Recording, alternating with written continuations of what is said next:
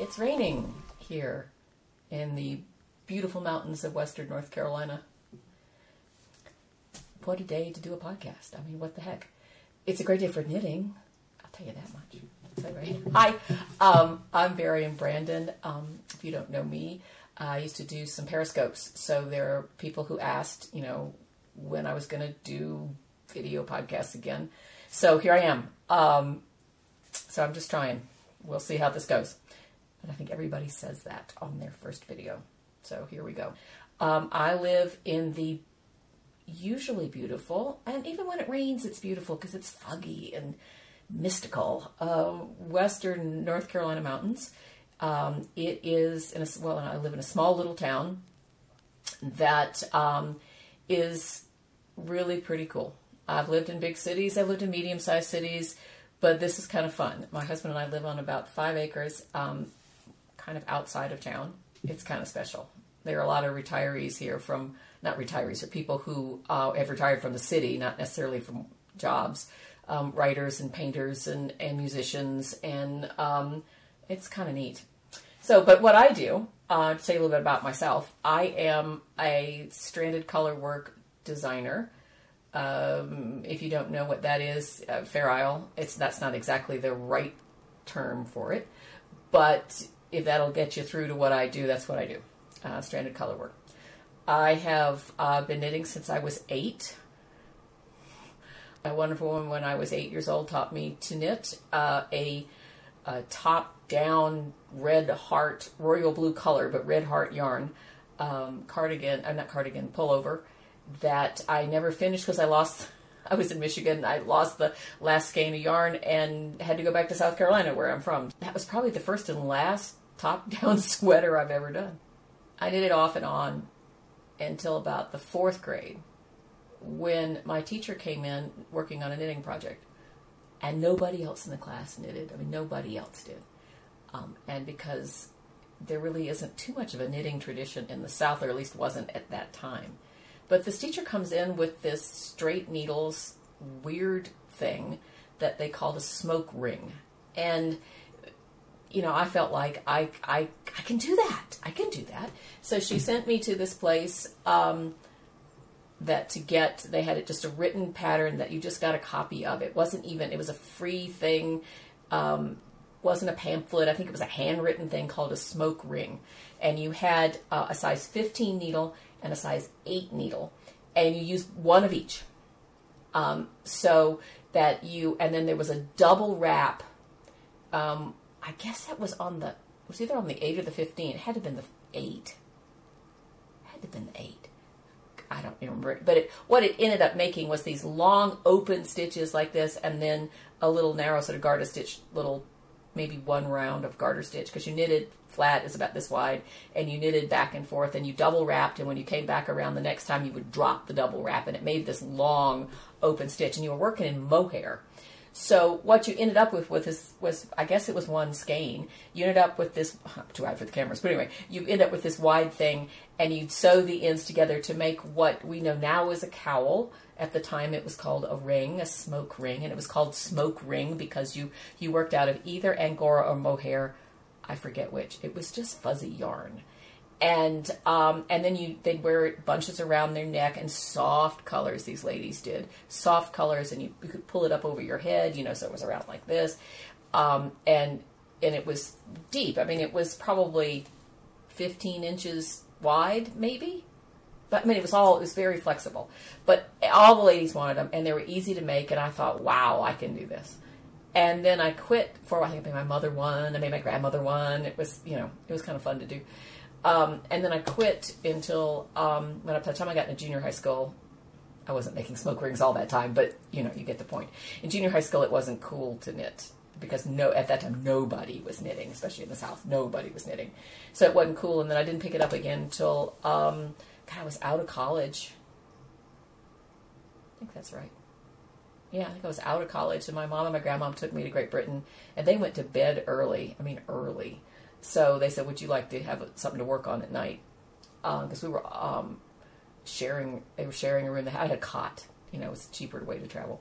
So I would sit up with a, one little light on and work on. They got me some yarn for a sweater, uh, because that's what I started with. You know, was a sweater when I was eight or nine. I figured, well, I could do a sweater, follow the instructions. So, um, and then at some point, it's a long drawn out story, but at some point ended up uh, on a tour that Rowan Yarn did that um, took me to Shetland and the Outer Hebrides, where I met two designers, which I'll talk. It's a, that's a whole long story. I'll tell you about that later sometime. But I was introduced to stranded color work at that time and couldn't stop, just couldn't stop, and so um, had a career in um, architect, degree in architecture, have a master's in mass communication, have worked with public television, have worked. Um, doing a lot of things uh, like that, and finally um, got married. I mean, not well, yes, finally got married. Sorry, but that's not the way that went. Anyway, um, got married, and um, the my um, husband said that once he had two daughters. When my husband, when the two daughters went off to to uh, school, he said, "You can." Um, why don't you go do whatever you, you know whatever you'd like? I mean, would you like to stay where you are? Would you like to try something else? And so I, I said I'd like to try this design thing.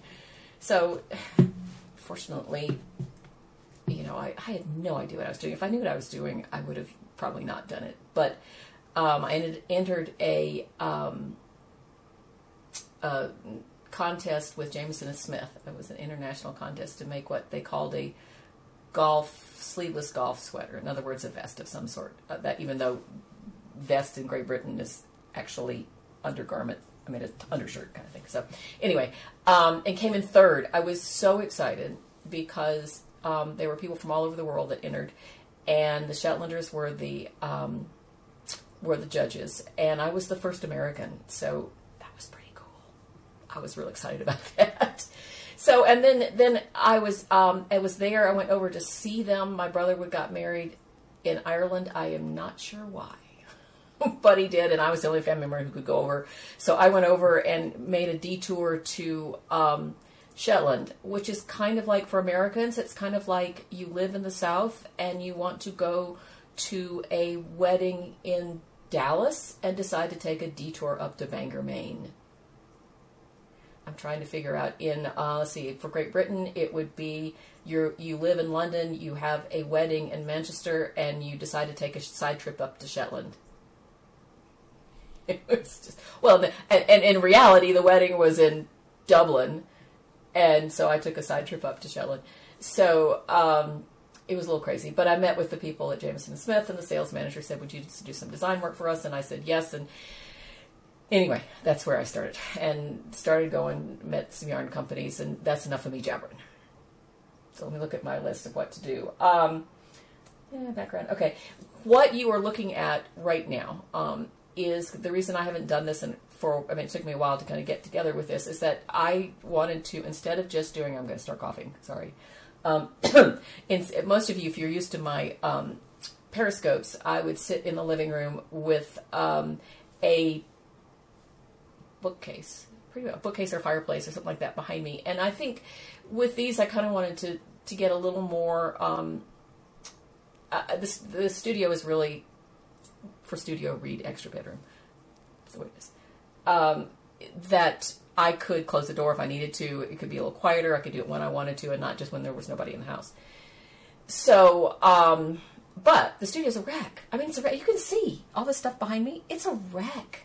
And and at some point um, in here, I will put in a picture of what it looks looks like to begin with. And truth be told, I, I will probably make it look messier than it I mean, there was a ways I could make it look a little bit better so that you actually can see the floor. But it's the room where you put everything that when somebody comes to visit that you just want to get it away and you just dropped I just dropped it in here because there wasn't any place else to put anything. But my sewing machine's in here, my um, office supplies, the um, what else is in here? All sorts of stuff, books, um, yarn, material, thread. Over up and over here, there's thread.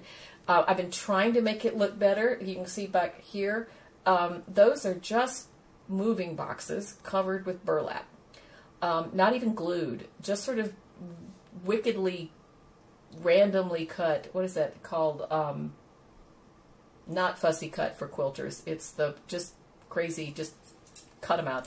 And then fold it all together sort of origami style and stick pins in them. And they, because you're sticking into cardboard, it's like this. And you get these things and the yarn inside is in bags so that it gets, you know, the, the moths don't get to them. and the, and the and the boxes are like what forty cents a piece, or if that much. They're just from the Home Depot or something. But it's really nice, and I want to because I've got so many. You'll see when you see the wide shot, or if you, if you haven't, if I wherever I put the wide shot, um, you'll see it's it's there's a lot of them, and I just couldn't afford to just buy really expensive things. So this is the outcome, and I think it looks pretty. It looks pretty good. But what I thought I would do, I was talking to some friends, and they said, I said, I, am not doing these videos because the studio's a wreck, and I just don't have time to clean it all up.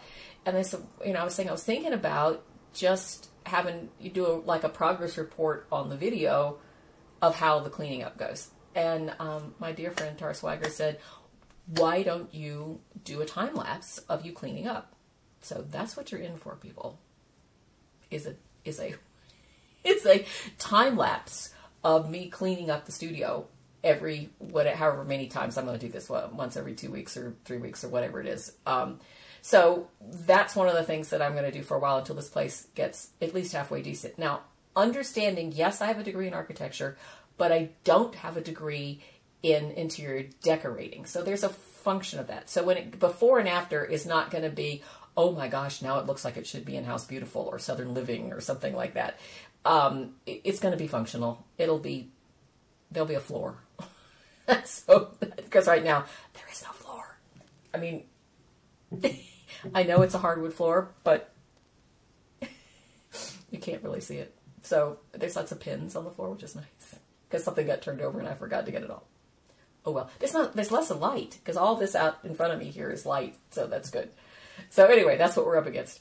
Um, the other thing I thought I'd talk about is what I've been working on. I don't know whether I'm going to do the traditional. These are my these are my um, unfinished objects or my working on projects, works in progress. That's what it is, works in progress. Um, and then these are my finished objects. I have no idea whether I'm going to do that or not, but I'll at least show you what I'm working on. I generally am working on my own stuff.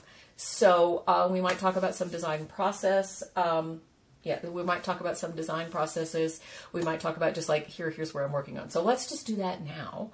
Um, and who knows, I might get really fancy because I should tell you, as I said, I, I used to work in public television. I was a producer writer, not an editor but I used to have to write things for people to edit, so I understand the process. And I've got a, you know, on your computers these days, you can get an editing system, whether it's iMovie or whatever. i am a PC person, so I've got something from Corel, um, which is, seems to be really good. It's what I'm used to. You can do split edits and you can do all this kind of stuff.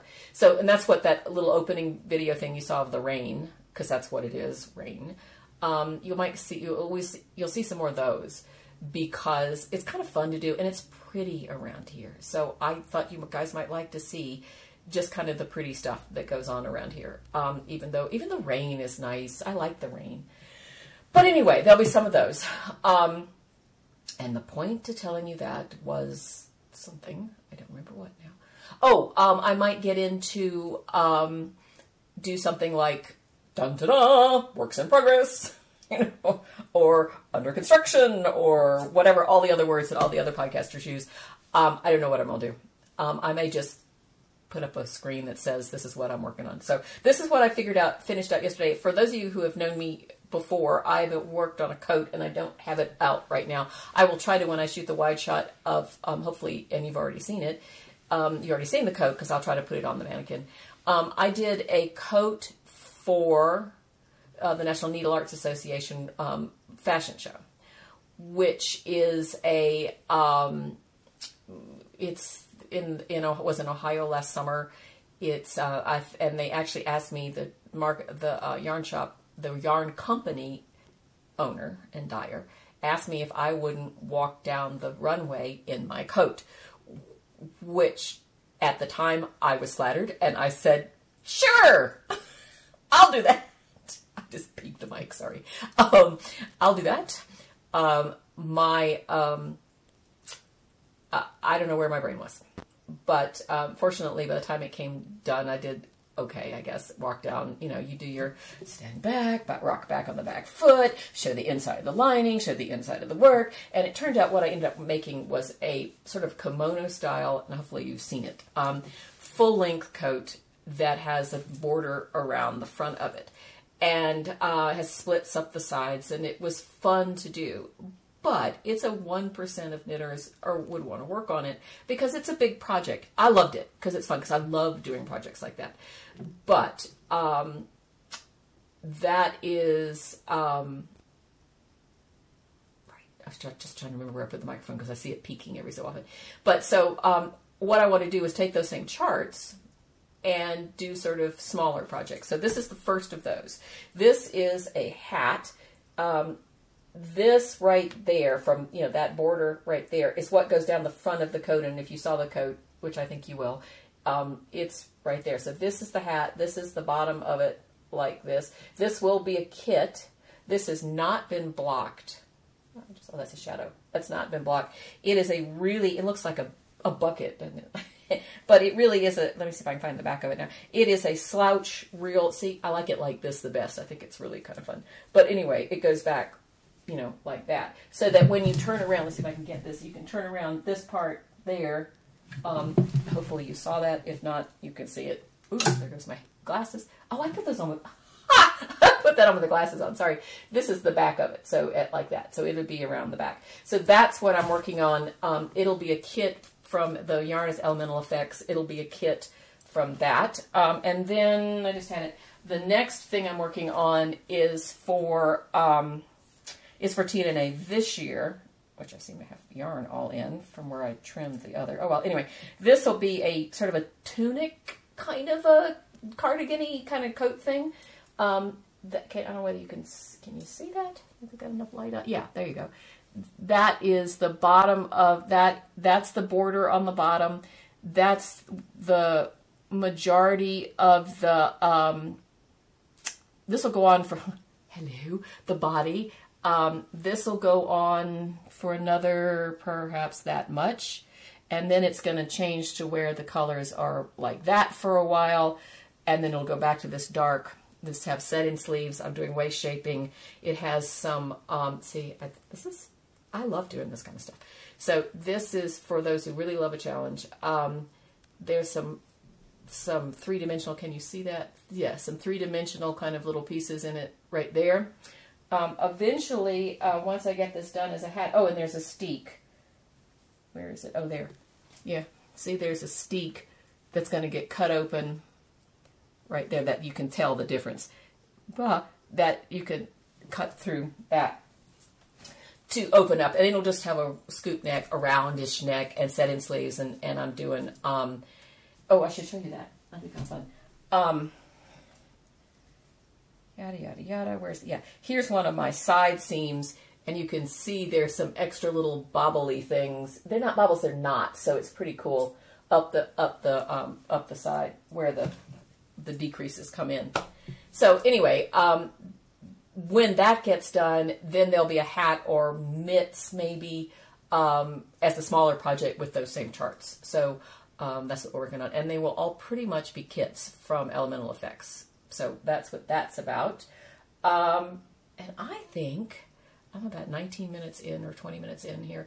Um, I don't have much else to talk about. I think eventually I'll take you take um, you out with the camera and do some video, the video shorts, little shorts, and they they won't be any more than a you know at the most 30 seconds, at mostly more like yeah, probably 20, 30 seconds, something like that.